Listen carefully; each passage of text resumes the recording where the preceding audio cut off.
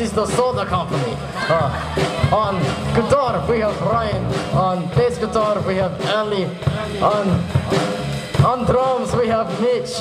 On trombone, we have Chris Cronin or whatever his name is. Uh, I mean is. Uh, uh, on trumpet, we have Paul and Zephyr, and on tenor sax we have Drew and me. My name is Nikolai. So our first song is we are going to play Sidewinder. So please enjoy.